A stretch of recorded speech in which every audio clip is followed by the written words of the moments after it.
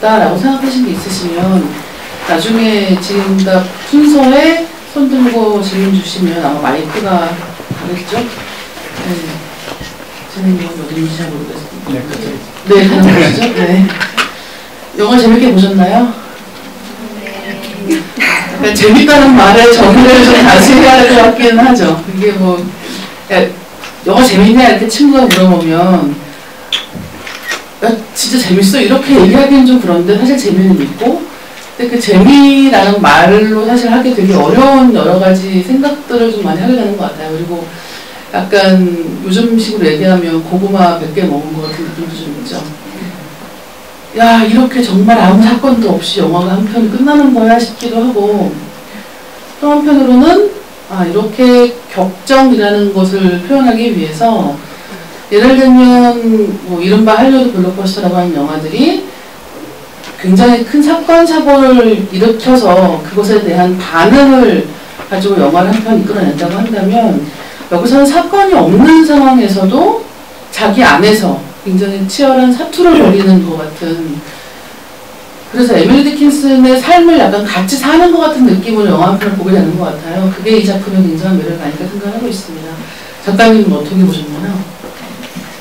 어, 저는 사실 그 에밀리 디킨슨의 시에 대해서 잘 몰라가지고 이번에 그 조용한 열정이 영화 북토크를 한다고 해서 시집을 이제 구입을 해서 읽고 이제 영화를 봤는데 이런 식의 어떤 뭐 시의 독법이 어, 어느 정도는 좋지 않을 수도 있다고 생각하지만 영화를 보면서 좀 시에 대해서 더 많이 이해할 수 있었던 것 같고 그리고 저는 영화가 딱 끝나는데 저도 모르게 이렇게 한숨이라고 해야 될까 이렇게 영화 보는 데는 잘 몰랐는데 이렇게 숨을 잘 못 쉬었던 것 같아요. 영화가 딱 끝나고 엔딩 크레딧이 딱 올라가는데 숨이 이렇게 하 이렇게 하고 나오더라고요. 저도 모르게 굉장히 오랜만에 좋은 영화인 것 같아서 음, 좋습니다.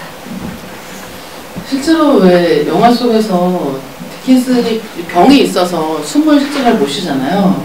계속 이제 뭔가 시를 한 편 쓴 다음에 바로 일어나지 못하고 게다가 이 척추 관련된 질병은 약간 글 쓰는 사람들의 공통된 질병 중에 하나 아니겠습니까? 그래서 처음에 그냥 허리가 아픈 건가 생각을 했는데 그게 좀 더 큰 병과 연관이 되어 있고 그 이후에 디킨슨이 계속해서 숨을 잘 못 쉬고 이제 아픈 상황들이 영화 속에 묘사가 되기 때문에 지금 말씀하신 것처럼 사실 같이 약간 숨을 참고 보게 되는 것 같은 면도 분명히 있고요.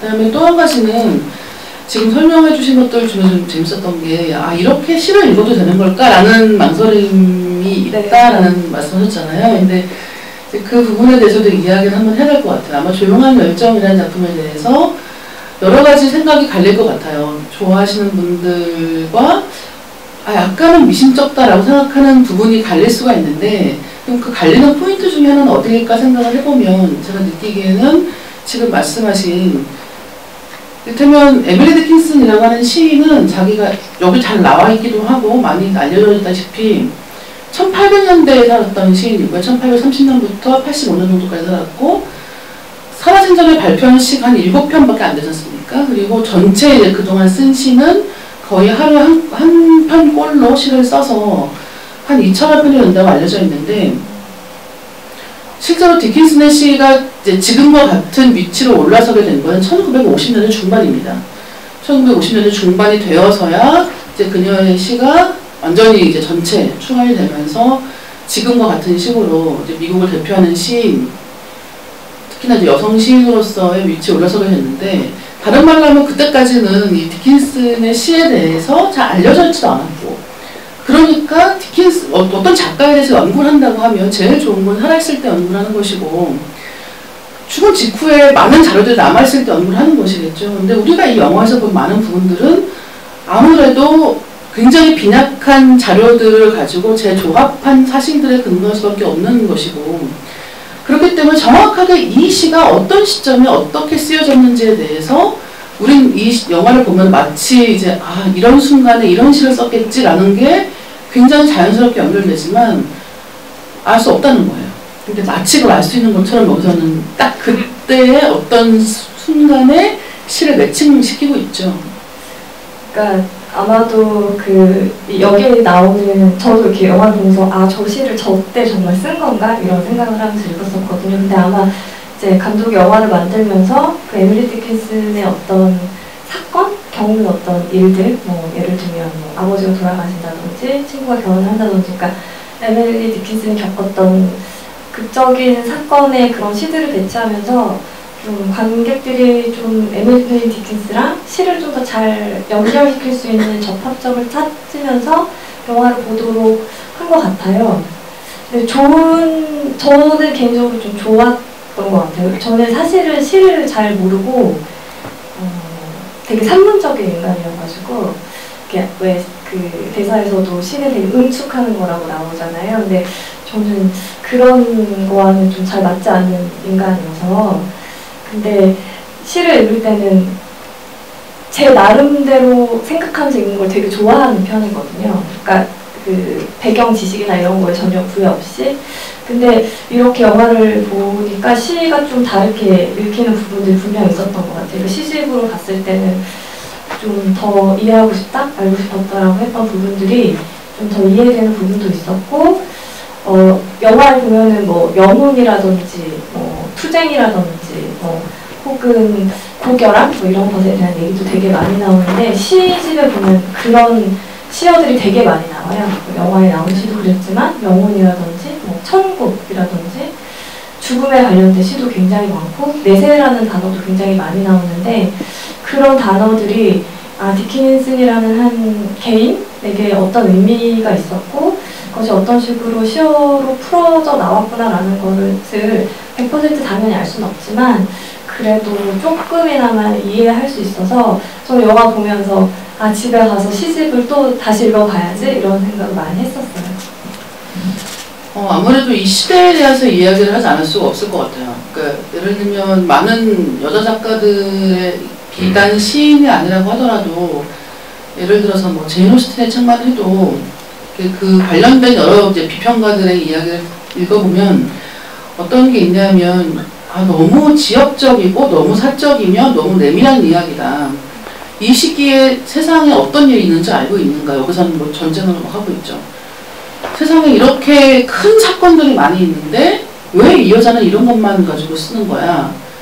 그냥 결국은 사람들 간의 뭐 사랑과 우정 이야기 이거 말고는 아무것도 없는 거 아니야? 라는 식의 비판이 굉장히 많습니다. 그리고 디킨슨에 대해서도 그런 식의 시선이 없는 게 아닌데 여기서 놓치지 않아야 할 것은 이 시대의 여성들이 과연 남성 작가나 아니 남성 소설가나 남성 시인이 할 수 있었던 것 같은 다른 나라에 가고 신대륙으로 모험을 떠나고 전쟁에 참전하고 라는 식의 모험을 할 수 있는 상황인가 하는 거죠. 그러니까 여기서 이 영화가 너무 잘 보여주고 있다시피 자기가 태어난 마을에서 한평생 살았던 사람이고 그게 너무나 당연했던 시대의 사람이란 말이에요. 심지어는 글을 쓰기 위해서 처음 영화 초반에 굉장히 잘 나오죠. 시를 쓰는데 시를 쓰기 위해서 아버지한테 허락을 받죠.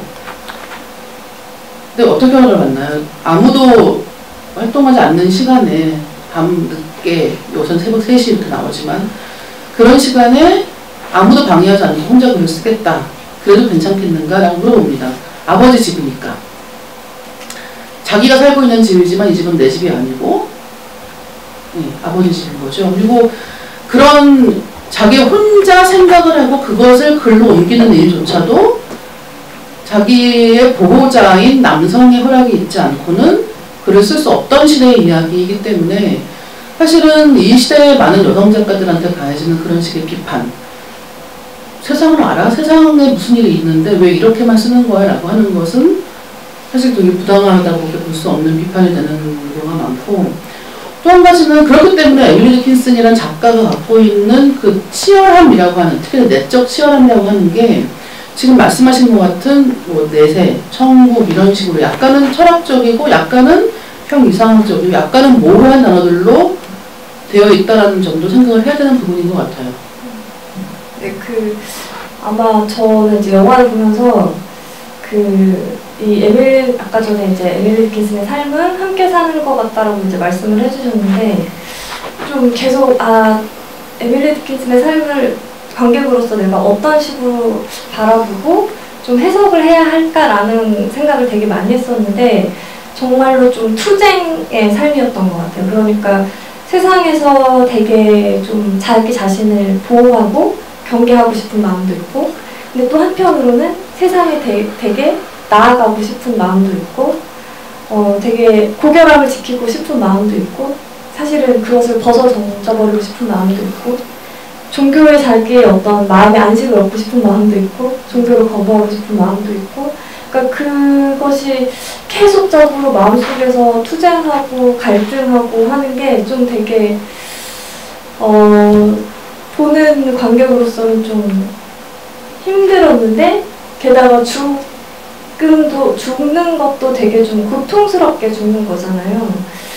그래서 되게 좀 힘들었는데 아 저게 바로 아 시가 나올 수 있는 어떤 그녀를 둘러싼 삶이었겠구나라는 생각도 좀 들었고 저는 그 처음에 허리 통증을 느끼는 장면이 굉장히 인상적이었는데 그러니까 이 에미리 디킨슨이라는 사람은 굉장히 인내하는 사람이라는 많이 받았어요. 그러니까 보통은 그 정도로 허리가 아프면 허리가 아픈 것에 대해서 뭐 의사를 찾아간다거나 병증에 대해서 가족들한테 얘기할 수도 있었을 텐데 그걸 얘기하지 않고 그 아픔 때문에 그 직원들이라고 해야 하나? 그 사람들한테 짜증을 낸 것에 대해서 다음날부터 다 사과를 하잖아요.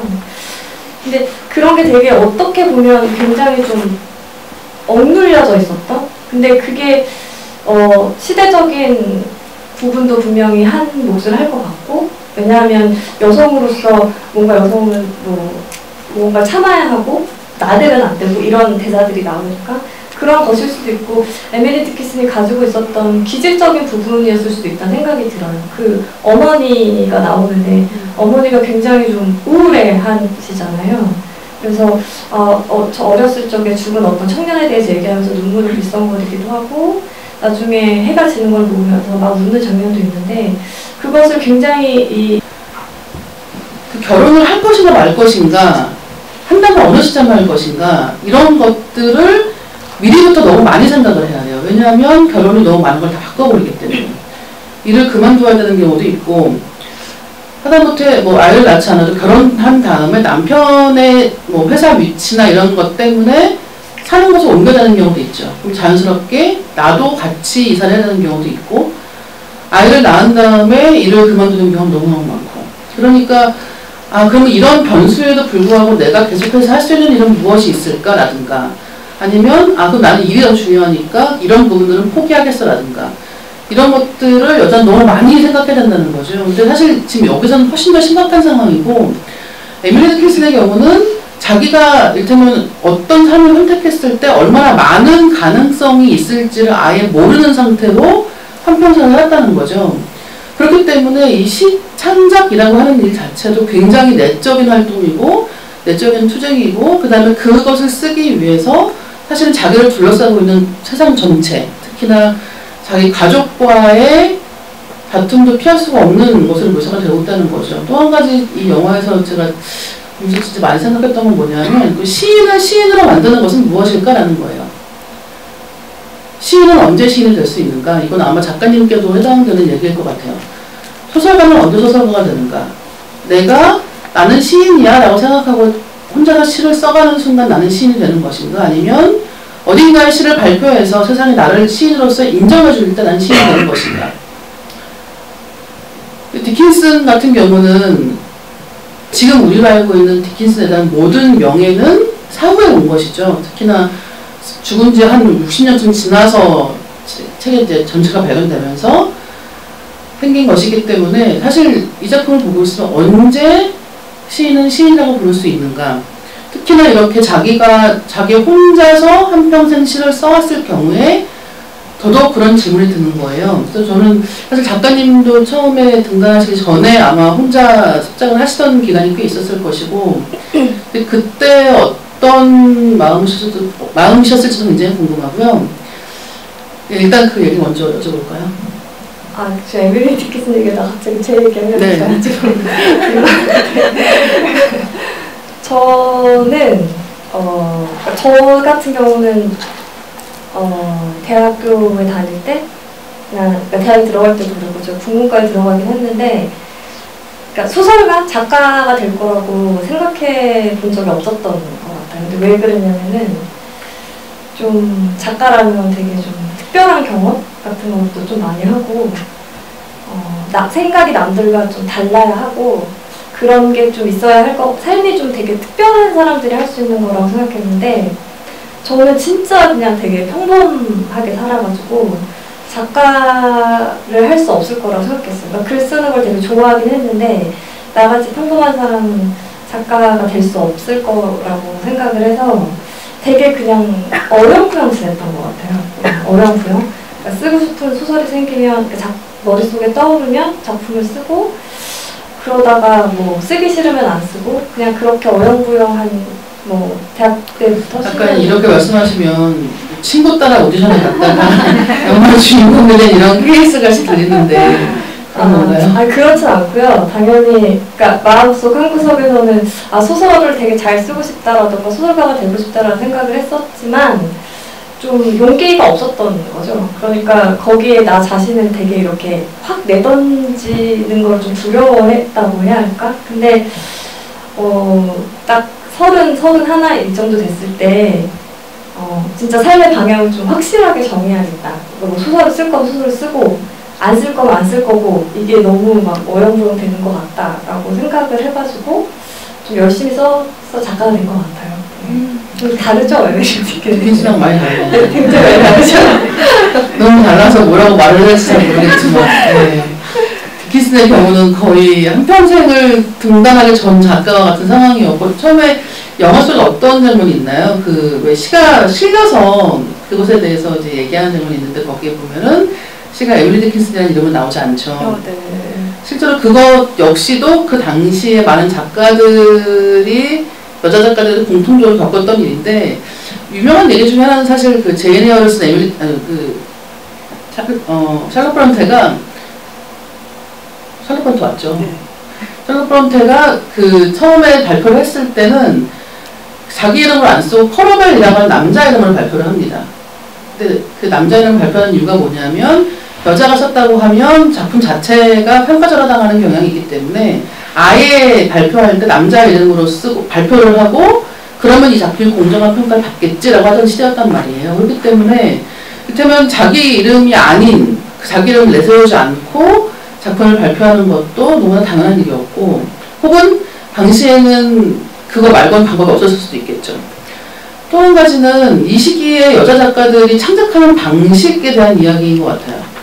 사실 이 작품 말고도 이건 지금도 마찬가지인데요. 제가 그 작가님들 인터뷰를 하다 보면 아이가 있는 집 같은 경우는 특히나 그런데 이제 뭐 작품 쓰실 때 어떻게 작업을 하시나요? 뭐 매일 뭐 아주 그야말로 하루키처럼 뭐 몇 시, 새벽 몇 시에 일어나서 조깅을 하고 뭐 몇 시에 커피를 마시고 몇 시부터 몇 시까지는 작업을 하고 뭐 이런 얘기 있잖아요. 그래서 뭐 어떻게 보통 작업 일정을 맞추시나요? 이렇게 물어보면 정말 많은 분들이 아이들이 다 자고 나면 남편 재우 남편 자고 애들 재우고 한 새벽 2시쯤 되면 다 조용하니까 그때 이제 식탁에 앉아서 글을 쓴다라는 경우가 진짜 진짜 많거든요. 너무나 많은 작품들이 부엌에 있는 식탁 위에서 탄생을 하는 게 여자 작가들 작품의 특징이기도 하고 또 이제 그렇기 때문에 어떤 비평가들은 그렇게도 얘기를 합니다. 여자 작가들 이야기에 대화가 많은 것 특히나 이제 그건 제인 오스틴의 경우가 됐는데 대화가 많은 이유들 중에 하나는 뭐냐면 대화가 오가는데 앉아서 쪽글을 썼기 때문이라는 거예요. 이를테면 서재가 있고 아무도 방해하지 않는 몇 시간의 시간을 가지고 작업하는 식의 글을 썼던 게 아니라 사람들이 항상 오고 가는 자리에 앉아서 그때그때 시간이 날때 빨리빨리 글을 써야 되는 상황이었기 때문에 글 자체가 일단 문단의 호흡이 길고 굉장히 유려하게 묘사를 한 페이지 두 페이지 넘어가도록 할 수가 없다는 거예요. 애초에 자기가 생각하는 방식도 환경에 어느 정도 영향을 받는다는 것이죠. 근데 그런 점을 생각했을 때 이 디킨스의 삶은 너무나 대단한 데가 있는 거예요. 왜냐하면 우리가 이를테면 뭔가를 결심할 때 뭔가를 하고 싶을 때 단순히 얼마 동안의 시간 동안 잠깐 크게 마음먹고 할 수는 있겠죠. 근데 이 경우에는 한평생 했던 것이고 그렇게 발표하지 않았지만 자기 생각에는 완성도를 갖춘 시가 2천여 편이 있었던 것이기 때문에 이 영화가 주는 그 감동이라고 하는 건 약간 인간을 뛰어넘는 것 같은 네, 그런 직한 데가 있는 것 같아요. 그, 그, 어, 오빠가? 오빠가, 그, 왜 남자라면 명예를 뭐 쫓아야지, 뭐 이런 얘기를 하잖아요. 근데 아마, 그, 당연히, 시, 그러니까 자, 글을 쓴다는 것은 자기 자신만이 자기 자신의 독자가 되는 건좀 외롭고 되게 괴, 괴로운 일일 수 있거든요. 그래서 저도 그 계속 보면은 영화에 보면은 에밀리 디킨슨이 뭐 새벽에도 그 시를 쓰고 있지만 그 책상에 앉아가지고 계속 뭐를 쓰고 그리고 자기가 직접 이렇게 바느질을 해가지고 책을 만들잖아요. 그런 장면들이 저 사실 되게 좀 인상적이었는데 왜 인상적이었냐면 아 그 시를 정말로 어, 자기 자신을 위해서 혹은 자기 자신에게 어떤 자기 자신이 만족할 만한 자기 자신한테 부끄럽지 않은 작품을 쓰는 작가였구나. 근데 저게 가능할까? 이런 생각도 좀 들었고, 근데 중간에 보면 그 워즈워드 그 목사랑 그런 대화를 나누잖아요. 아, 후대에는 언젠가, 어, 알아줄 수도 있다? 이런 얘기를 하는 걸 보고, 근데 되게 좀, 아, 저렇게 평생 시를 쓰는 것이 굉장히 외로운 일이었겠구나라는 생각이 되게 많이 들긴 했어요. 저는 또 한 가지 되게 궁금한 건 뭐냐면 그 결과적으로는 에밀리 디킨스는 자기가 시를 발표하지 않았기 때문에 제대로 비평, 비평을 받을 수 있는 기회가 없었던 시인이죠. 그 실제로 비평이라고 하는 것은 아무리 원하든 원치 않든 간에 결국은 그 작품색이 어떤 식으로 영향을 끼치게 되어 있거든요. 그러니까 예를 들면 그 올해 노벨문상 받은 가지오식으로 한 인터뷰 중에 어떤 얘기가 있냐면 이제 이런 북토크나 이런 걸 가면 독자들이 와서 작품에 대해서 자세하게 물어본다는 거예요. 뭐 이런 대목은 왜 이렇게 썼느냐, 이런 건 이런 뜻이 맞느냐, 난 이렇게 읽었다라는 식의 굉장히 자세한 질문들을 하는데 옛날에는 그걸 다 대답을 잘 열심히 해줬대요. 근데 점점 그런 게 조, 좋은 생각 같지가 않게 되었다라고 이제 말을 하면서 어떤 얘기를 하냐면 그렇게 자기가 쓴 것을 낱낱이 파헤치는 행위 자체가 결국 글을 바꾼다는 거예요. 이거 되게 저는 읽으면서 좀 특이한 생각하지 못했던 지점이었거든요. 다른 말로 하면 에밀리 디킨슨 같은 경우는 한 번도 비평받을 기회가 없었고 비록 그게 인정받지 못하는 것을 포함하는 것이었다고 하더라도 자기의 시가 외부 세계에 의해서 훼손될 일이 없었기 때문에 어떻게 보면 끝까지 저 2000편의 시를 자기 완결성 안에서 쓸 수 있었던 게 아닌가라는 생각도 드는 거죠. 근데 이제 두 가지 같이 갈 수 없는 거죠. 해석적인 성공과 예, 자기 완결성을 지켜나간다는 게 같이 갈 수 있으면 좋겠지만 사실은 같이 갈 수 없는 부분이 분명히 있는 것이고 이 경우에는 되게 미묘하게도 예, 그렇게 알려지지 않았다는 것 자체가 주는 어떤 시인으로서의 에밀리 디킨슨의 삶을 예, 완결짓게 하는 어떤 이유가 되지 않았을까라는 생각이 들었거든요. 근데 저는 만약에 이것 좀 웃긴 생각인데 에밀리 디킨슨이 시를 처음에 그 아버지가 이제 발표하게 도와주잖아요. 그때 어, 호평을 받았더라면 아마 시를 계속 발표했을 것 같아요. 음. 어, 근데 그게 아마 자기 자신의 작품을 물론 이런 게 있었겠죠. 자기 자신의 작품을 이 세상이 이해해주기에는 이 세상은 아직 뭐랄까 자기를 따라오지 못한다는 생각도 있었을 거고 자기의 시세계를 알아주기에는 어 그래서 음 되게 지금 말씀하신 것처럼 되게 미묘한 지점에서 되게 좀 아이러니함이 좀 발생하는 부분이 있는 것 같아요. 근데 확실히 그런 게 있어요. 그러니까 비평가들이나 저도 독자님들한테 가끔 메일을 받을 때가 있거든요. 근데 저는 어떤 메일을 받은 적이 있냐면 어떤 문예재 발표한 작품을 가지고 그 작품에 자기가 이런 식으로 해석을 했는데 이 해석이 맞는지 좀 알려달라는 메일을 받은 적이 있어요. 근데 저 같은 경우는 저의 작품을 저 스스로도 좀 잘 해석을 안 하려고 하는 편이거든요. 저는 좀 되게 멀어지고 싶어 하는 편이어가지고 저는 웬만하면 독자님들이 메일 보내면 답변을 해드리는데 그 메일을 답변을 못 해드렸단 말이에요. 아, 웬만하면 답변해 주신다고. 아, 그럼요. 자기 자신이 또 자기 작품의 분석가나 비평가가 되려고 하는 경향이 굉장히 많이 생기거든요. 그걸로부터 자기를 지키는 것도 굉장히 어려운 일인 것 같은데 모르겠어요. 에밀리 디킨스는 시를 쓰면서 자기 자신이 자기 작품의 비평가가 되는 것까지 막을 수 있었을까? 그거는 잘 모르겠어요. 음. 그 최근에 제가 들은 얘기 중에 하나는 뭐가 있냐면 요즘에 여러 가지 이유로 그 우울증에 대해서 네. 관심이 굉장히 많아졌지 않습니까? 이제 그 문제에 대해서 어떤 소설가분하고 얘기를 잠깐 할 일이 있었는데 이제 자기도 정신 분석을 받고 싶다는 거예요. 상담을 좀 장기간에 걸쳐서 받고 싶다는 생각을 하는데 좀 주변에서 말린다는 거예요. 다른 선배들이 말린다는 거죠. 근데 말리는 이유가 뭐냐면 그렇게 한 번 정신 분석을 완전히 받고 나면 다시 소설을 쓸 수 없다는 거예요. 이것도 되게 좀 무서운 부분이기도 한 것 같아요. 근데 일테면 이 영화를 보시면 왜 중반 이후에 일테면 이렇게 뭐 오빠가 바람을 피우고 이런 것에 대해서 격렬하게 반응하는 대목들을 보면 일테면 에밀리 데킨슨이 좋아했던 남자도 유부남이었고 물론 그 관계는 육체적으로 이어지지 않았기 때문에 나는 괜찮다고 생각했을지도 모르겠지만 사실은 원- 원칙적으로 같은 거란 말이죠. 그러니까 이미 배우자가 있는 사람에게 사랑의 감정을 느끼거나 욕망을 느낀단 말이에요. 근데 이를테면 그런 상황에서 디킨스는 굉장히 자기 방어적으로 굴고 심지어는 굉장히 공격적으로 전 처음에 그, 막 신음소리가 나잖아요, 옆방에서. 그래서 아, 저 방은 조용히 나오겠구나라고 생각했거든요. 근데 갑자기 그 문을 이렇게 여는 거예요. 아, 열었구나라고 생각했더니 그 다음에는 그들을 떼어놓는 거죠, 공격적으로. 그래서 아, 뭐지? 왜 저렇게까지 해야 되지 라는 되게 복잡한 생각으로 영화를 보다가 일테면 에밀리 디킨슨의 그런 사랑에 관한 시들이 갖고 있는 굉장히 열정적인 부분들이 있단 말이에요.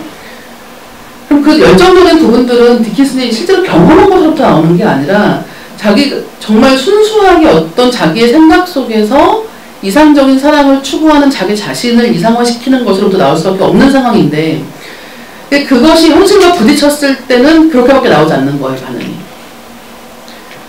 일단은 디킨슨이 더 많은 사, 일단은 사랑을 했고 아니면 그 불륜 관계에 실제로 뛰어들었고 혹은 결혼을 해서 아이를 낳았거라고 했으면 아마 우리가 보는 디킨슨의 시는 또 달라졌지 않았을까 생각이 들 수밖에 없는 것이고 또 그런 일테면 이 관찰자가 보기에는 아 저런 부분들이 꼬여 있기 때문에 어떻게 보면 저런 시를 쓸 수 있지 않았나는 생각도 드는 거죠.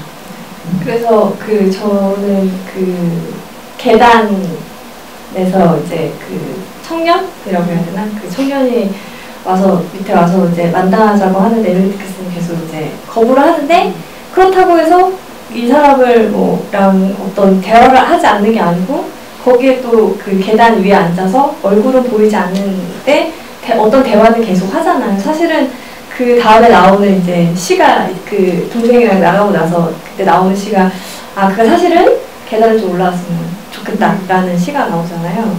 그러니까 그게 그 계단이라는 게 주는 그 상징성 같은 게 있었던 것 같아요. 그러니까 아까도 말했다시피 어 계속 마음속에서 투쟁을 하는 거죠. 그러니까 누군가와 굉장히 가까운 예를 들면 뭐 육체적인 어떤 열망을 굉장히 느끼지만 또 한편으로는 그것을 억눌러야 할 것 같은 어떤 기분, 디킨슨이 느끼는 어떤 감정이 있는 거고 거기 안에서 계속 갈등을 하는데 그래서 저는 그 계단에서 그 다음에 어두워지면서 에밀리 디킨슨 제 얼굴이 보이고 문이 열리면서 어떤 얼굴 알 수 없는 남자가 계단 올라오는 걸 이렇게 상상을 하고 노래가 나오고 그 다음에 끝나고 나서 이렇게 그 배우가 되게 실망한 듯한 표정, 뭐 혹은 굉장히 슬퍼한 듯한 표정, 혹은 무언가를 상실한 듯한 표정을 지으는 그 부분이 굉장히 좀 인상적이었어요. 아까 말씀하신 것처럼 아마 그 오빠의 불륜에 대해서 굉장히 그 분노하잖아요. 좀 과하다 싶을 정도? 로 분노하는데 그 분노도 아마 그렇게 볼 수 있을 것 같아요. 사실은 자기가 굉장히 원하고 있는 것, 자기가 너무나 하고 싶은 것인데 할 수 없다고 생각하는 것, 자기가 뭐 고결함을 지켜야 하고 이 세상은 너무 추악한데 그 추악함에 휩쓸리지 않아야 않아야 하고 라는 그런 것들이 되게 계속 마음속에서 투쟁을 하고 있고 그래서 어떤 시들은 굉장히 좀 에로틱한 시, 네. 그 계단과 관련된 그런 시도 그렇고 에로틱한 시가 나오기도 하고 그, 음, 그런 부분이 있었던 것 같아요. 이쯤에서 작가님 오늘 제가 부탁드리는 한 가지가 있는데 그 디킨슨의 시 중에서 좋아하시는 작품 있으시면 낭독을 하나 해주시고 왜그 시를 좋아하시는지에 대해서 제가 사전에 예, 네. 그래서 사실 저는 에밀리 디킨슨 시를 아까도 말씀드렸다시피 이번에 처음 읽었는데 되게 재밌게 읽었었던 것 같아요. 그래서 시를 아 뭐를 읽어야 될지 한네 편을 뽑았는데 네 편 중에 뭘 읽어야 될까 그러다 지금 이렇게 딱 폈는데 네. 나오는 것을 한번 읽어보도록 하겠습니다. 제가 대체로 이렇게 별 계획이 없이 그때 되는 대로 그래서 약간 좀 그런 것 같아요. 네, 읽어주시죠. 네 편 중에 이게 나와가지고 이거를 한번 읽어보도록 하겠습니다. 이게 영화에 안 나온 시여가지고 음, 제목은 추억으로부터 우리 달아날 날개가 있다면 추억으로부터 우리 달아날 날개가 있다면 무수히 날개내리라 느리디 느린 사물에 익숙해지며 놀란 새들은 인간의 마음으로부터 달아나고 있는 자들의 움츠린 커다란 포장마차를 빤히 바라보게 될 것을 네 시간 좀 짧죠 네. 이 시를 고르신 이유는? 어, 이 시는 사실 제가 이제 이 시를 읽고 어, 이게 추억이 메모리로 지금 여기 영문시랑 같이 나와 있는데 그러니까 기억으로부터 도망치고 싶은 어, 근데 여기서 보면 아 만약에 우리가 이런 기억 추억으로부터 도망칠 수 있는 날개가 있다면 뭐라고 얘기하냐면 굉장히 많이 날아갈 거라고 얘기를 하거든요. 근데 저는 여기에 굉장히 좀 동감을 했던 것 같아요. 그러니까 나의 어떤 내가 나를 나로 만들어준 어떤 것, 혹은 내가 가지고 있는 기억들, 내가 가지고 있는 어떤 추억들이 사실은 저를 좀 괴롭게 하거나 저를 속박하거나 거기서부터 좀 벗어나고 싶다는 생각을 많이 하고 있- 할 때가 있거든요. 어. 그래서 이 부분이 굉장히 좋아서 이 시가 되게 인상적이었어요. 게다가 그런데 이렇게 날아가다가 결국은 인간의 마음을 둘러싸고 있는 커다란 포장마차 같은 걸 결국 바라볼 수밖에 없다라고 얘기를 하거든요. 그러니까 추억으로 아무리 벗어나고 싶어도 기억으로부터 아무리 벗어나고 싶어도 벗어날 수 없다는 음, 그래서 그왜 영화 그 매그놀리아가 거기 보면 과거는 너는 과거를 잊어도 과거 널 잊지 않는다 이런 영화 대사가 나오잖아요. 그래서 그런 부분들을 좀 이 시를 읽고 생각했던 것 같아요. 되게 좋았어요. 음. 어, 이쯤에서 여러분 받으신 단편집에 있는 손 작가님의 이방인이라고 하는 작품을 잠깐 할까 하는데 이 혹시 읽으신 분 계신가요 이미? 네. 간단하게 내용을 설명을 드리면 약간 SF 누아르라고 할 수 있는 장르가 그렇습니다. 그러니까 주인공은 지금 뭔가 현업에서 약간 물러나 있는 상황인데 그 과거에 어떤 일이 있었기 때문인 거예요. 그리고 이게 SF라고 설명을 드린 이유는 어 이를테면 증강현실 자체가 굉장히 폭넓게 쓰이고 있는 시대가 이 소설의 배경이 되고 있고 증강현실을 제가 사실 소설을 읽다가 굉장히 인상적이었던 게 뭐냐면 요즘에 가상현실이나 증강현실이니 뭐 이런 것들이 굉장히 많이 소설 속에 등장하고 있지 않습니까? 영화도 많이 나오고 있고 근데 사실 남자 작가들이 쓰는 그런 작품들에서 보면은 보통 그런 기술로 하는 게 예, 섹스를 하는 데 쓰여있죠. 예, 어떻게 섹스를 할 것인가. 그리고 정말 많이 상상력을 발휘하거든요. 근데 이 작품에서는 주인공이 그 증강현실을 가지고 어떤 상황에 처해 있냐면 자살 중독에 걸려 있어요. 증강현실이니까 자살을 한다고 해도 진짜 죽진 않겠죠. 근데 그 죽을 때 느낌에 중독되어 있는 상황이고 그거를 같이 일하는 사람들 다 알고 있는 상황인 거예요. 그래서 이제 어느 날 그 과거에 맡았던 사건과 약간 연계가 되어 있는 것 같은 사건이 벌어지고 다시 복귀해서 그 사건을 맡아달라고 하는 이야기가 오면서 사건이 전개가 됩니다. 저는 사실 굉장히 특이하다고 생각했던 게 지금 말씀드린 그 부분이었거든요. 그러니까 아마 남자 작가들과 여자 작가들이 이 미래에 대해서 생각할 때 굉장히 다르다라고 생각하는 것들 중에 하나가 이거인 것 같아요. 그렇다면 가상현실 혹은 인조인간 뭐 로봇이 있을 때 그 로봇을 뭐 했을 것인가 라고 했을 때 여자 작가들이 생각하는 거는 일단 가사에 쓰고 싶다. 병간호에 쓰고 싶다. 아니면 지금과 같은 경우로 예, 죽고 싶을 때 죽어볼 수 있어 라는 생각을 하는 것 같아요. 그래서 사실은 그 증강현실 안에서 자살을 한다라는 자살에 중독된다라는 설정을 어떻게 생각하는지 좀 궁금하거든요. 아 그거는 제가 그 증강현실 그왜 TV에서 예전에 증강현실 게임 같은 걸 하는 걸 보여주는 그런 프로그램인 그걸 뭐 제가 굉장히 뭐 진지하게 본 건 아니고 지나가다 이렇게 보게 됐는데 그 그거 중에 뭐가 있었냐면 이렇게 뭐라 그러지 외줄 같은 거를 타는 음. 근데 그게 떨어지면 사실 그냥 땅에 떨어지 그러니까 떨어지는 게 아니잖아요. 그걸 굉장히 공포스러워하고 네. 무서워하더라고요. 그래서 그게 굉장히 기억에 남아서 그냥 문득 그런 생각이 든 거예요. 아, 이게 왜 사람들은 죽는 순간이 어떨까 궁금해 하잖아요. 뭐 죽음을 맞이하는 기분이 어떨까? 근데 그걸 보고 되게 궁금해졌어요. 만약에 저런 게 있다면, 실제로 있다면 그런 궁금증이 있는 사람들은 정말 떨어져 보는 경험을 할 수 있겠구나. 라는 생각을 해서 그런 것에 중독된 사람이 있을 수도 있겠다라는 생각을 해가지고 그 소설을 이제 구상하게 된 거였는데 제가 사실은 그 느와르? 느와르 장르라고 해야 할까요? 그런 장르 소설을 쓴 게 이번이 세 번째인데 앞에 두 번째 소설에서는 주인공이 남자였고 이 소설에서는 주인공이 여자였어요. 근데 사실 제가 소설을 쓸 때는 이게 딱히 아 여자 주인공을 막 굉장히 염두에 둔 건 아니었어요. 그냥 어, 여자 주인공이 방점이 찍혀 있었다기보다는 어떤 사건을 겪는데 여자 이, 런 정도였었거든요. 근데 되게 좀 신기했던 게 이 소설의 주인공은 어, 굴복했다기보다는 다시 어, 거기에 자기 자신을 능동적으로 포함시키는 그런 주인공으로 나온 것 같아서 제가 의도한 건 아니었는데 좀 다 쓰고 나서 되게 좀 신기했었던 음, 경험이었어요. 그 소설 맨 마지막에 보시면 그 모든 단편들이 마지막에 이제 작가분들의 어떻게 이 작품을 쓰게 되었는가에 관련된 짧은 이제 뭐 에세이라면 에세이가 한 두 페이지 정도 들어가 있거든요. 근데 사실 그 글도 굉장히 재밌었거든요. 이게 뭐냐면 이 네, 처음에 원고 총탈 받으신 게 페미니즘 소설을 네. 가지고 받으신 거죠. 네, 네. 그래서 소설집 전체가 페미니즘 소설이라고 하는 어떠한 큰 주제 아래 묶여 있는 셈인데 그래서 이 누아르 이야기를 써야겠다라고 생각하신 다음에 너무 이것도 하면 안 된다, 저것도 하면 안 된다가 너무 많았다는 거예요.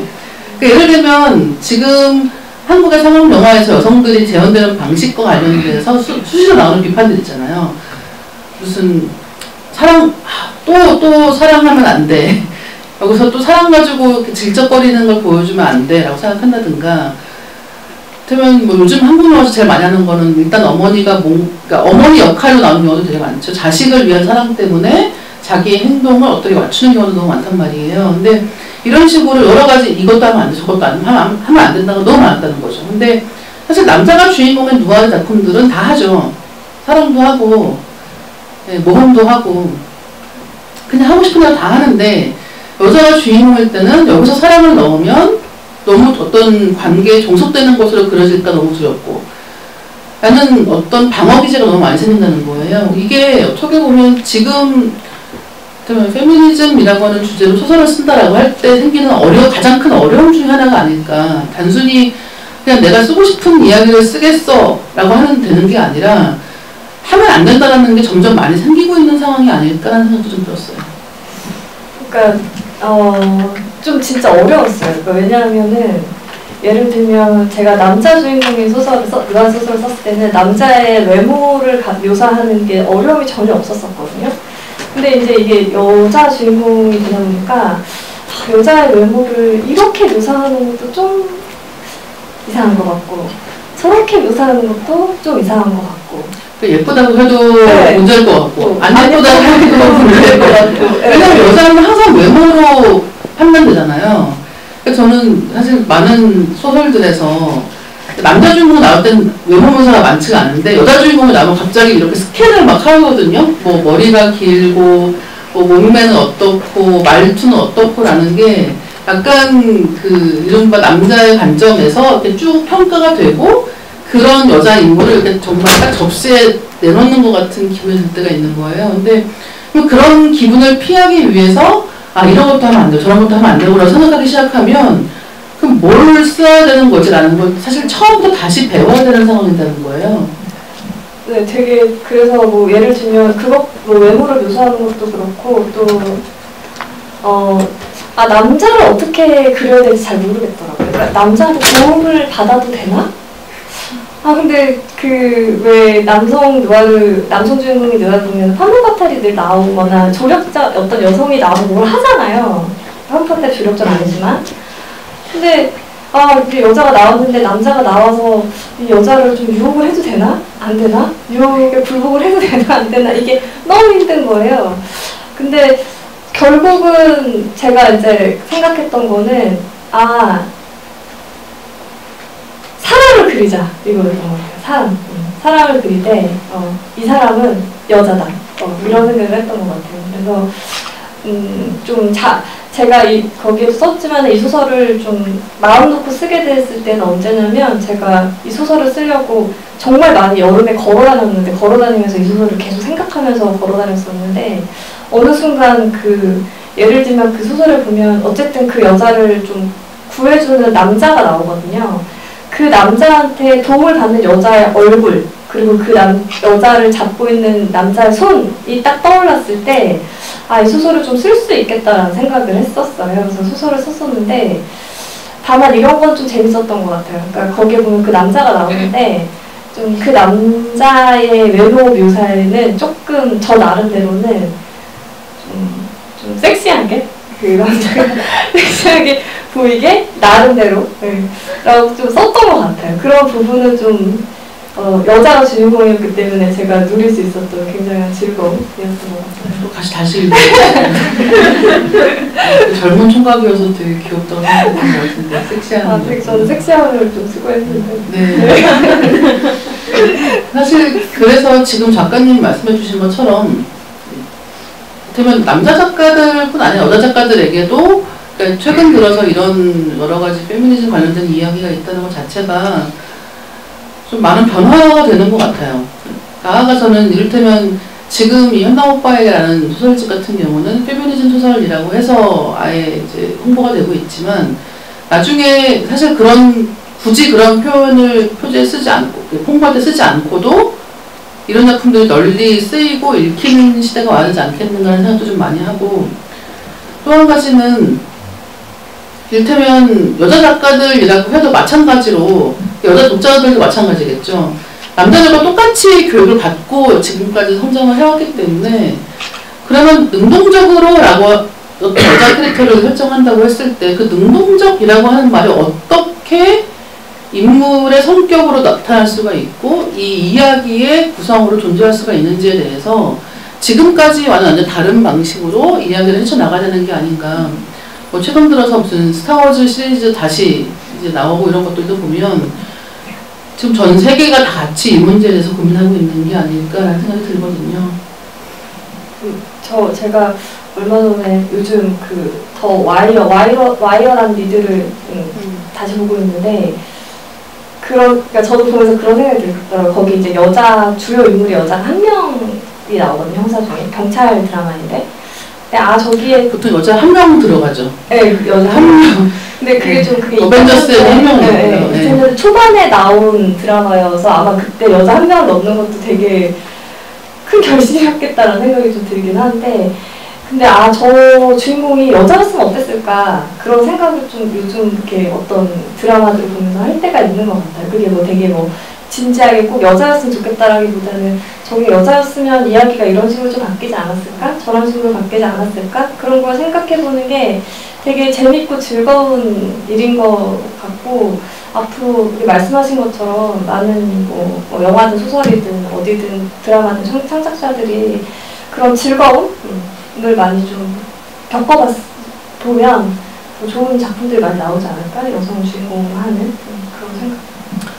또 재밌는 건 이런 상황에서 일테면 이게 단순히 남녀의 문제만은 아니겠죠. 인종의 문제도 같이 있단 말이에요. 왜다 백인들만 나오는 상황.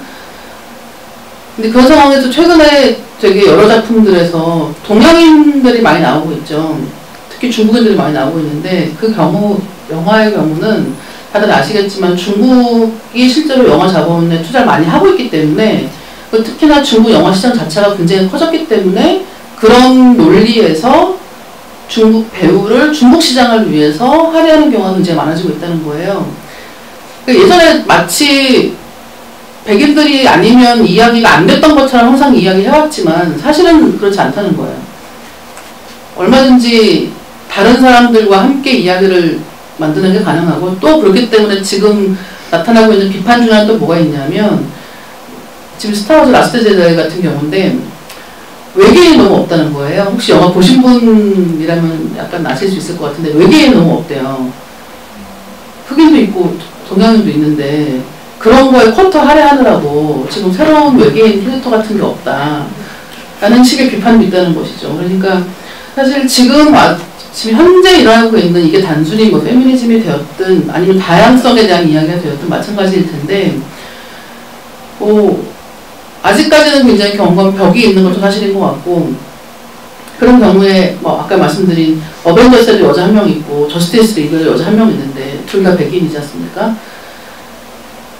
동양인이 나올 때는 보통 동양인 여성은 누군가의 비서 역할로 나오든가 아니면 굉장히 특이한 딱 붙는 옷을 잘 입는 암살자로 등장하는 경우가 굉장히 많은데 때문에 이런 식의 단순한 어떤 쿼터 배분이 아니라 조금 더 능동적으로 이야기에 참여할 수 있게 된다는 건 어떤 뜻일까에 대해서 지금 많은 고민들이 필요한 시기인 것 같아요. 특히나 이런 부분들은 작품들을 보시는 분들이 거기에 대해서 호의적이지 않으면 그렇다면 계속해서 차라리 외계인 낫지 외계인도 다양성이잖아 라고 생각을 하면서 이제 이렇게 굳이 여기에 동양인 여자 캐릭터가 들어가야 하는가 라는 것에 대해서 불만을 제기하는 사람들이 아직도 많기 때문에 이런 부분들은 관객분들이 어느 정도는 또 같이 변화해 주셔야 되는 부분들이다. 또 한 가지는 독자분들도 마찬가지일 것 같고요.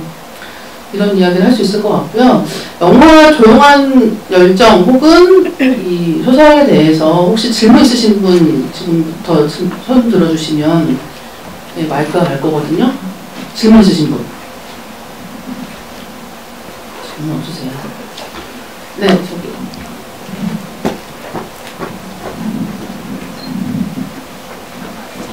네, 최근에 그 뭐, 빌리진 킹이나 히든 피겨스 같은 영화도 그렇고 그런 영화랑 오늘 조용한 열정 보면서 좀 다르다고 느꼈던 거는 좀 서두에 좀 특출난 재능을 지닌 천재들이 어, 평등을 뭐 이루고 어느 정도 성과를 거두는 그런 영화들을 보면서 좋기는 한데 저 정도로 뭐 똑똑하지 않으면 안 되는 걸까라는 그런 생각도 들긴 했는데 일견?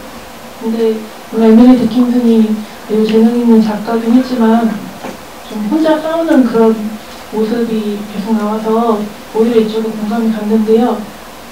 그 소설에서도 아까 말씀하셨던 것처럼 어떤 독자적인 여성 캐릭터를 만들 때 그런 면을 좀 생각하시는지 아주 평범한 사람을 써야 되는지 아니면 어느 정도 좀 어드밴티지를 줘야 된다고 생각하는지 그게 좀 궁금합니다. 아, 이게 좀 되게 어려운 질문인 것 같은데, 어, 저는 일단,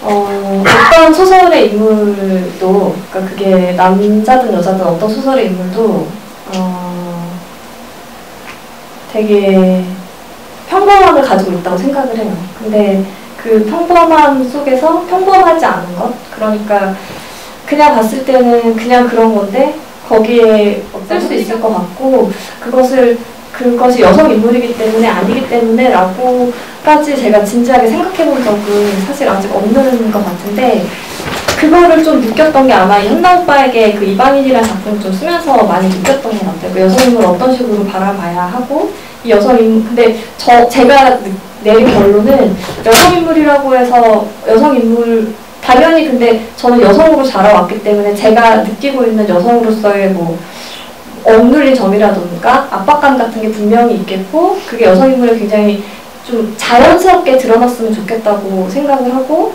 그래서 그걸 읽는 사람들이 그 제가 쓴 소설의 여성 인물의 얼굴을 좀 되게 생생하게 느꼈으면 좋겠다.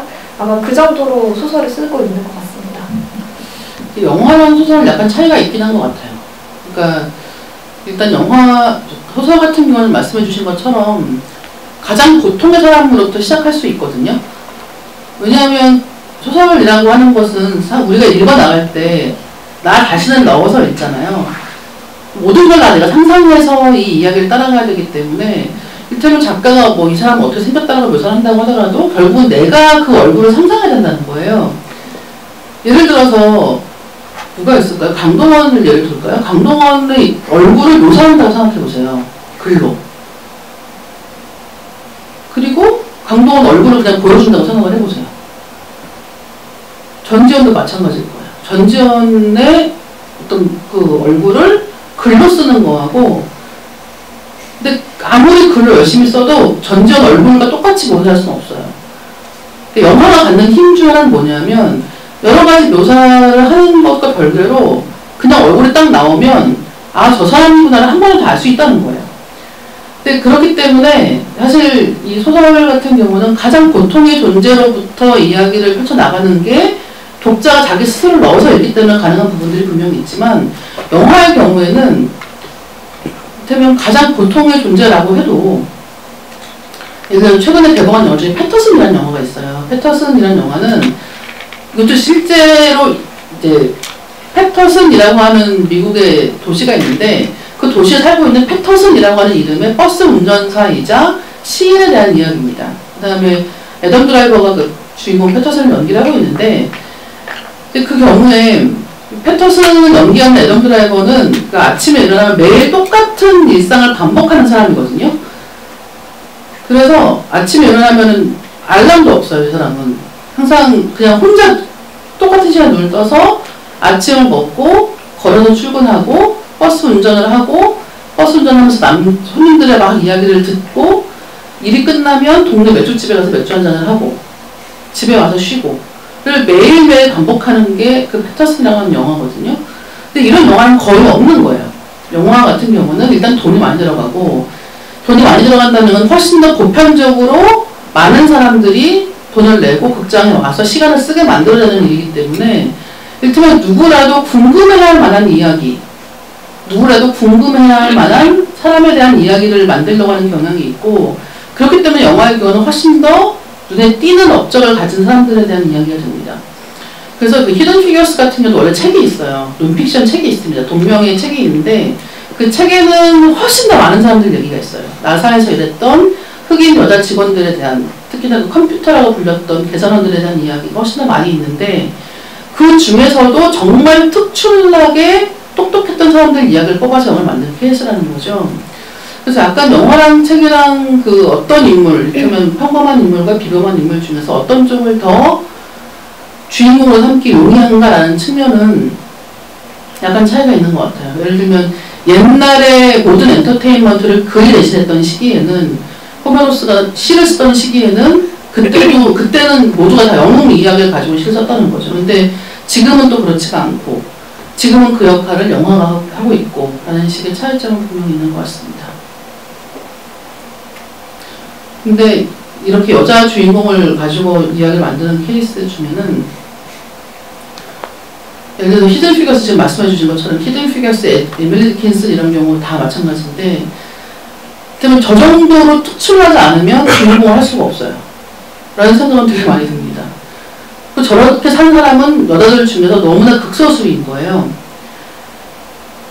그 다음은 모든 이야기에 등장하는 자기의 서사를 갖고 있지 않은 동네의 엄마들밖에 안 나온다는 거죠. 근데 한편으로는 그게 지금까지의 많은 경우의 현실이었기 때문에 지금부터는 그런 이야기가 더 많아져야 되는 거 아닌가 생각은 많이 들어요. 예, 다음에 질문 있으신 분. 네. 저 영화 보고 나서 기자분이나 뭐 작가들 한 마씩만 좀 궁금한 게 있어 궁금한 게 생겨서 좀 물어보고 싶은데요.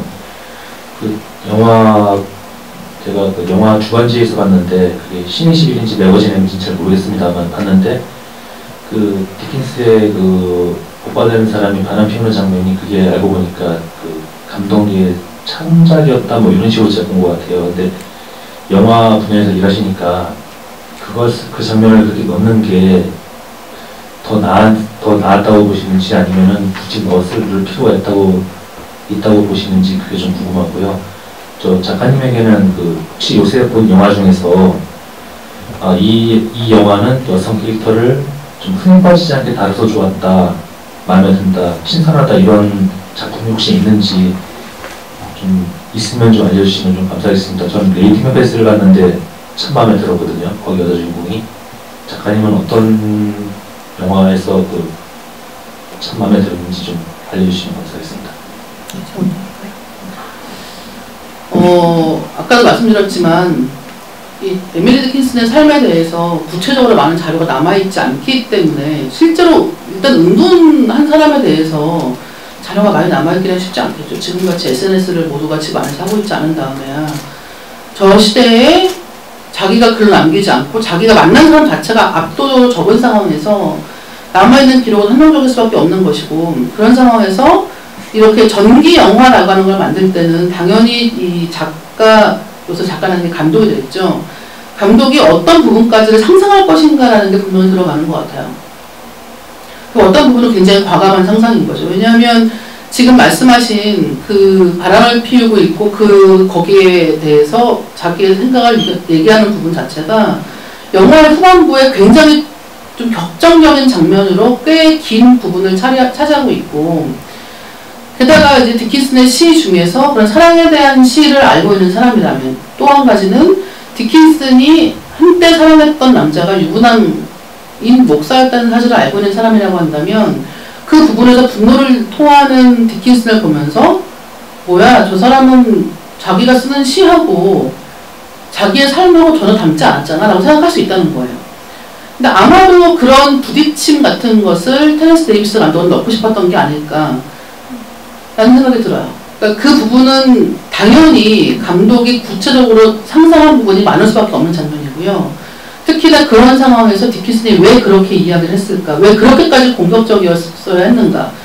뭐 아니면 그런 것도 있겠죠. 뭐 제가 이제 최근 들어서 이런 전기물, 저는 원래 전기물을 되게 좋아하는 편인데 전기물을 볼 때 드는 가장 큰 이유식은 뭐냐면 어떤 작가들은 자기가 그 현장에 같이 있었던 것 같이 써요. 사실 이 경우도 마찬가지인 거죠.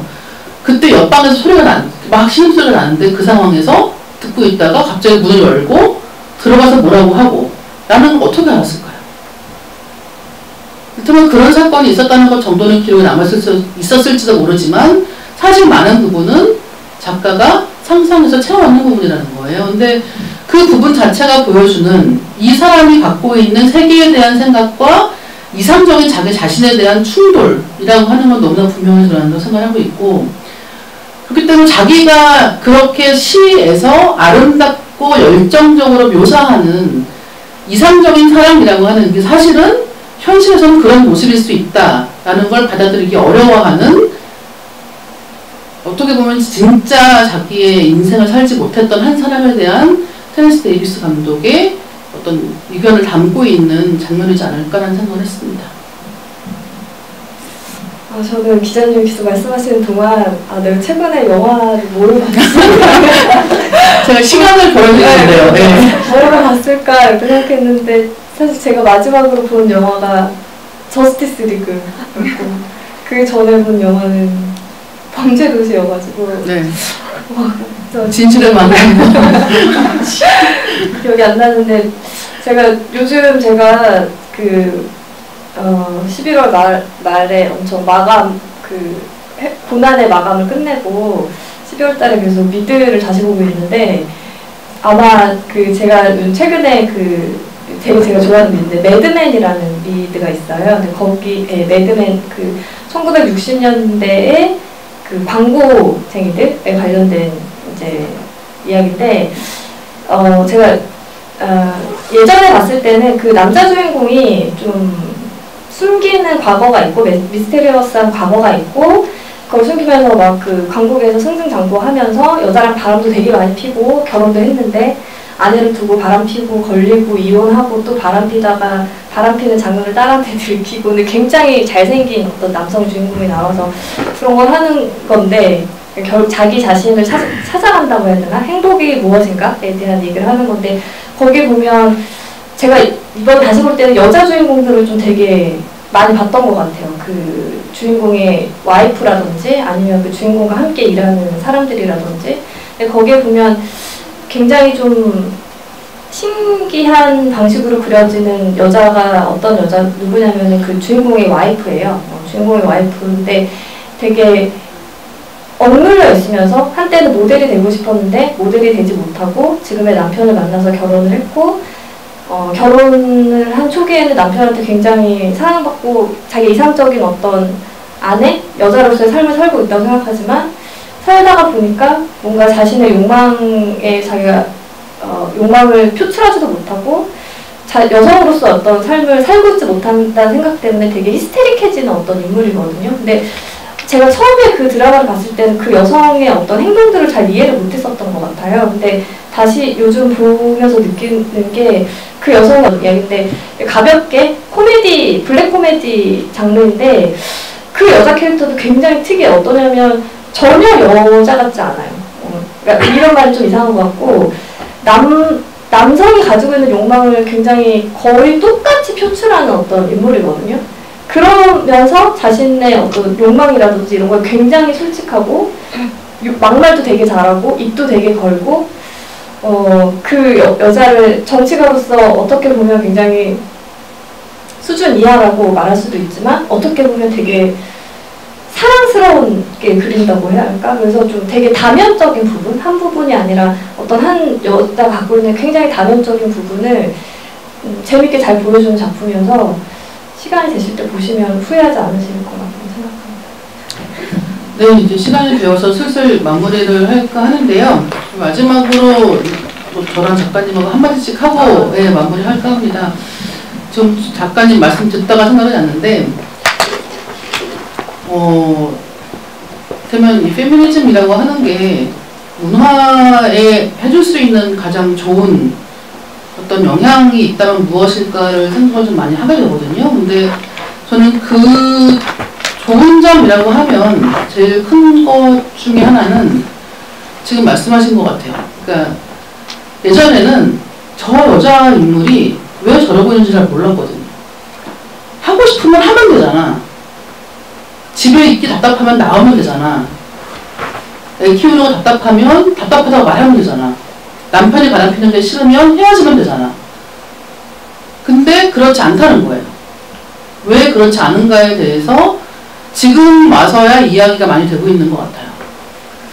이를테면 왜 여자들이 어떤 수많은 이야기들에서 여자들이 미치고 더 이상 이야기하지 않게 되는지 그럼 제이네어에서도 왜 그 다락방에 있는 여자는 버사 메이슨 같은 경우는 왜 다락방에 있다가 그렇게 죽어야 했는지 왜 미치지, 미치기까지에 대해서는 아무도 이야기하지 않고 미친 다음에 그냥 미쳤다라고 한 줄로만 설명되는지에 대해서 지금까지는 그렇게 얘기가 많지 않았다는 거죠. 근데 지금은 수많은 작품들이 만들어지고 있고 특히나 현우 오빠에게 같은 작품집 같은 경우는 그 안에 있는 목소리들이 그런 목소리들이에요. 거기에 이제 이민경 작가가 거기에 이제 추천사를 썼는데 저는 그 얘기가 굉장히 인상적이었어요. 나하고 세상하고 대체 누가 잘못된 건지를 알고 싶었던 사람들 중에서 이 소설집 같은 경우에는 당신이 틀리지 않았다라는 이야기를 해줄 것이다. 라는 이야기가 있는데 그 결국은 세상을 바꿔야 되는 문제였던 것, 개인의 문제가 아니었던 것에 대해서 지금 이런 작품들이 많이 만들어짐으로써 충분히 설명하고 있지 않나라고 생각을 하고 있습니다.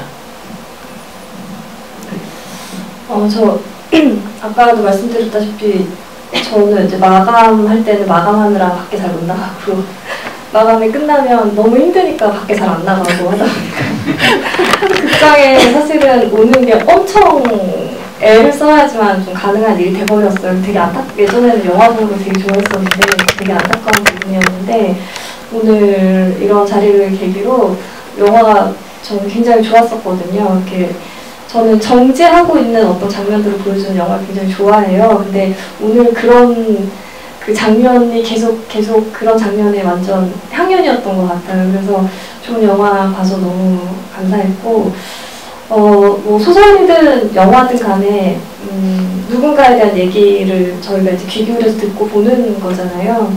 그때까지 우리가 굉장히 많이 봐왔던 어떤 사람들의 얘기나 사람들의 모습 말고 잘 얘기되지 않았던 사람들의 얘기나 모습 같은 것도 앞으로 많이 볼 수 있게 된다면은 어, 이런 얘기를 하는 게좀 이상하긴 한데 좀 더 좋은 세상이 되지 않을까. 아까 얘네들 듣겠으면 세상이 왜 이렇게 추악해졌어? 라고 얘기하는데 좀 덜 추악한 음, 세상이 되지 않을까라고 생각을 해봤습니다. 오늘 와주셔서 너무 감사합니다.